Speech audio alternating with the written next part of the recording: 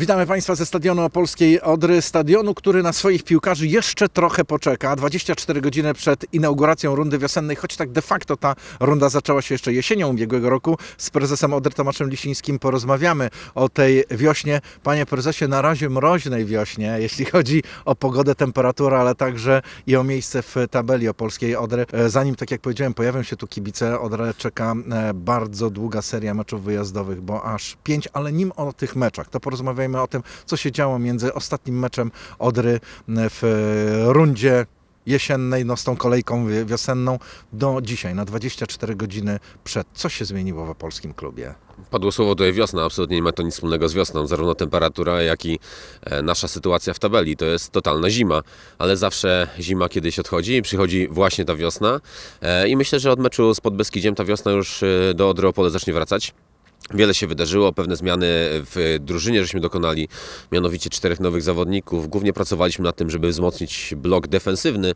Sprowadziliśmy dwóch, wydaje mi się, bardzo pewnych i mocnych zawodników do bloku defensywnego, co poprawi naszą liczbę straconych bramek. 35 bramek w, zeszłym, w zeszłej rundzie to jest zdecydowanie za dużo.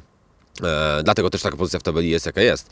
W miejsce Mateusza Marca, który odszedł do GKS-u Katowice, sprowadziliśmy również, myślę, bardzo dobrego zawodnika z Hiszpanii, który podniesie nam jakość w ofensywie, a do tego cały czas szukając zawodnika w miejsce Miłosza Trojaka sprowadziliśmy Wojtka Kamińskiego, młodego chłopaka, długi kontrakt. Wierzę, że przyjdzie czas, że on zastąpi bardzo godnie e, Miłosza Trojaka. Wiele się wydarzyło, ale mam nadzieję, że dużo więcej pozytywnego się wydarzy w najbliższych tygodniach, kiedy będziemy grali mecze ligowe. No i na to też pewnie liczą i kibice, i, i, i znawcy e, piłki, no i oczywiście wy wszyscy e, w klubie. E, Czy to będzie, e, bo pan jako też i obrońca, i defensywny e, pomocnik, e, to z trenerem Noconiem też e, mówicie, że jak to się mówi, przez żołądek do serca, czyli przez obronę do, do, do, do zwycięstw, stąd wzmacnianie tego bloku e, defensywnego, e, panie Tomaszu, rzeczywiście, żeby grać na zero z tyłu? Tak, ja kocham ten wynik. Wynik 1-0 to, to jest wynik, najpiękniejszy wynik świata. Kiedy w pewnym momencie przeciwnik myślał, że może, że był blisko, a to ty wygrywasz, ty wywozisz, ty zdobywasz trzy punkty, nie tracąc przy tym żadnej bramki, czyli budując jakby, em, budując dobre, dobre imię bloku obronnego, e, budując, e, budując reputację bramkarzy. Także tak, to jest piękny wynik. Na pewno trener też jakby tymi myślami krążył w przygotowaniu do tej wiosny. No a wszystko tak naprawdę zweryfikuje liga. To zawsze stare wyświetlane powiedzenie tak mówi, ale tak faktycznie jest. To mecze ligowe decydują o tym, czy jesteś dobrze przygotowany, czy dobrze dobrałeś zawodników przed tym sezonem. Również e, byłem pełen spokoju i wiary w to, że dobrze dokoptowaliśmy zawodników, jednak okazało się, że popełniliśmy pewne błędy. E, Dzisiaj są tego konsekwencje, ale A tak parę wyników uciekło, panie Tomaszu, podczas meczów. Zdecydowanie parę, parę, to tak jest w sporcie, że po drugiej stronie jest przeciwnik, który ma swój pomysł, ma swój plan. Mm, e, Plan często przeciwników był lepszy, ale tak mówię, największym problemem naszym była gra defensywna. Jeśli to poprawimy, to, to wierzę w to, że te wyniki będą dużo lepsze, a ostatecznie na koniec sezonu e, utrzymamy się na poziomie pierwszej ligi i będziemy mogli walczyć w kolejnym sezonie również na tym bardzo wysokim poziomie. No, tak jak powiedziałem, no, czeka Odrę przede wszystkim bardzo, bardzo trudny początek. Ja wiem, że w ogóle o pierwszej lidze się mówi o tym, że jest niezwykle wyrównana i niezwykle spłaszczona, o czym zresztą przekonuje nas e, tabela e, sama i miejsce, gdzie właściwie trzy wygrane mecze mogą wywindować zespół, trzy przegrane zostawić się jako czerwoną e, latarnię. Ta seria meczów wyjazdowych, no to chyba będzie kluczowe, panie Tomaszu, tych pierwszych pięć spotkań z niezwykle trudnymi rywalami. Kluczowy będzie każdy najbliższy mecz, nie podlega to najmniejszej dyskusji, aczkolwiek to będzie ważny okres, bo będzie pięć wyjazdów. E, Ja wychodzę jednak z założenia, że to nie jest dla nas e, sprawa jakby negatywna. Nie jest to też handicap, ale grając na wyjazdach tak naprawdę na tobie ciąży troszkę mniejsza presja. To na gospodarzach zazwyczaj ciąży ta presja, to oni muszą wygrać, a my jedynie chcemy wygrać. Jeśli będziemy mieli dobry plan takty- taktyczny na każdy z meczy, i zabezpieczymy e, szczególnie blok defensywny, a dalej będziemy w miarę aktywni i, e, i skuteczni w ofensywie, to z tych pięciu meczy wyjazdowych naprawdę jesteśmy No to na ile pan punktów liczy? No oczywiście na 15, no bo taka jest możliwość, więc e, biorę wszystko, co tylko się da. Zresztą 15 punktów wziąłbym w ciemno, tak naprawdę. Nawet się- 13 myślę. nawet 13 myślę, że wziąłem w ciemno, ale e, nie, nie chciałem się skupić tutaj na pięciu meczach. Chciałbym się skupić na najbliższym meczu, mecz z Podbeskidziem, bardzo ważny zarówno dla nas, jak i dla Podbeskidzia, które ma ambicje, żeby walczyć o awans do Ekstraklasy. Myślę, że ta presja będzie obopólna, e, a tak naprawdę bardzo mocno w to liczę, że nasz zespół zagra po prostu z charakterem, czego czasami na jesień brakowało. No właśnie to chciałem zapytać o rolę trenera Arnoconia, który e, wszedł do e, zespołu. E, Rzeczywiście to jest zespół, który też się zmienia, jak pan obserwuje zawodników pod, pod jego kierunkiem, no bo każdy trener ma swoją charakterystykę, stąd też i to wpływa na, na zespół. Myślę, że tak. Myślę, że trener ewoluuje, że, że zespół ewoluuje pod, pod trenerem Noconiem. Na pewno jest to trener właśnie znany z tego, że buduje zespół od tyłu, co nie zawsze się podoba, ale jednak w naszym sytuacji to jest e, sprawa najważniejsza i oby to było skuteczne.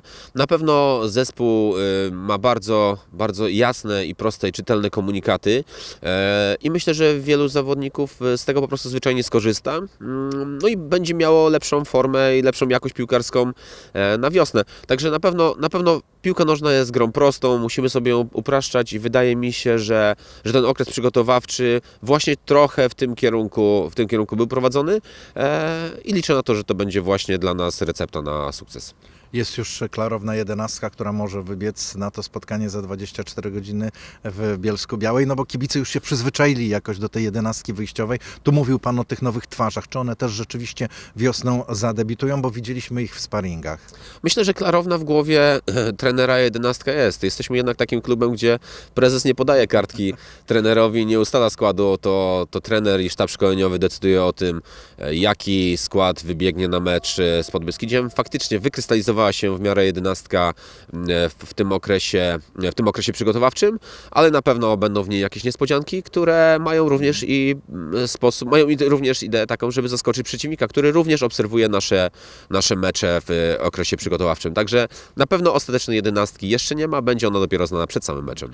E, Pytam o to oczywiście też w kontekście zdrowia zawodników, e, bo to jest najgorsze, kiedy w tym okresie przygotowawczym jeszcze zdarzają się e, kontuzje, urazy, tfu, tfu, tfu, oczywiście, jak wygląda sytuacja zdrowotna w zespole.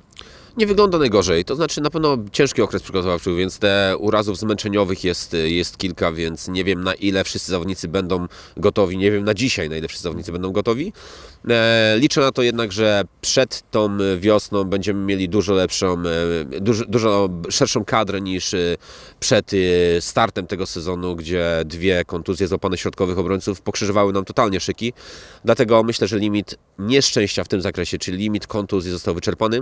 Drobne urazy oczywiście one są, one będą, oby ich było jak najmniej, ale żeby każdy z zawodników był na 100% gotowy. O tym myślę i to jest dla nas najważniejsze na ten sezon. Panie prezesie, to na koniec zapytam oczywiście żartobliwie. E, Pewnie do wróżki pan nie szedł, ale piłka e, e, nożna to są statystyki.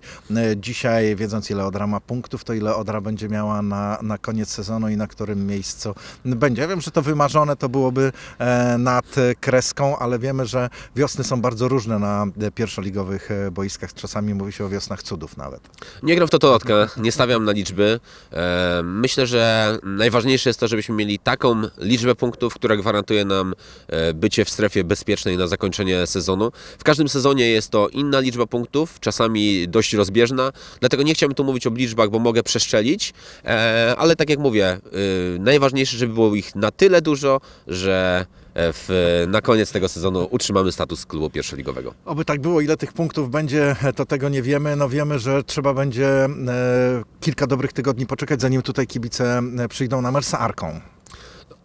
No tak, zdecydowanie e, będziemy musieli poczekać na to z racji tego, że tak jak widzimy, e, boisko choć zielone to jest bardzo zmrożone. Wszystkie boiska pierwszoligowe, które mają podgrzewane murawy, a jest ich zdecydowana większość, chyba jesteśmy jednym z dwóch klubów, które nie mają podgrzewane murawy na obecną chwilę. E, Te, pod, te murawy są już podgrzewane. Dzisiaj rozgranie meczu na ulicy, przy ulicy Oleskiej nie jest możliwe, ale też nie będzie możliwe w następnych kilku tygodniach. Bardzo mocno liczymy, że temperatury pójdą do góry i mecz marcowy będzie mógł rozegrany, będzie mógł być rozegrany tutaj przy ulicy Oleskiej. E, I na pewno, jeśli to się wydarzy, to będzie to bardzo ważne wydarzenie, bo praktycznie e, po pół roku niegrania przy ulicy Oleskiej będziemy mogli na, na stadionie gościć e, naszych kibiców i bardzo mocno będziemy liczyć na ich wsparcie. A teraz e, przed nami inauguracja e, wiosny, mecz w Bielsku Białej. E, No to możemy chociaż sobie w rozmowie powróżyć. Ja mówię 1-1. Co pan na to? Jak kupuje pan to? Biorę w ciemno. No to oby tak było, żeby to było oczywiście tylko minimum, o którym rozmawiamy. Prezes Odry Tomasz Lisiński tuż przed wyjazdem e, swojej drużyny e, do Bielska Białej na 24 godziny przed pierwszym meczem e, wiosennym. No i oczywiście wszyscy trzymamy kciuki za niebiesko-czerwonych. Serdecznie dziękuję i bardzo liczymy na wsparcie naszych kibiców, bo, bo to gram, gramy dla nich i bez nich nasza gra, nasza obecność na stadionach nie ma najmniejszego sensu.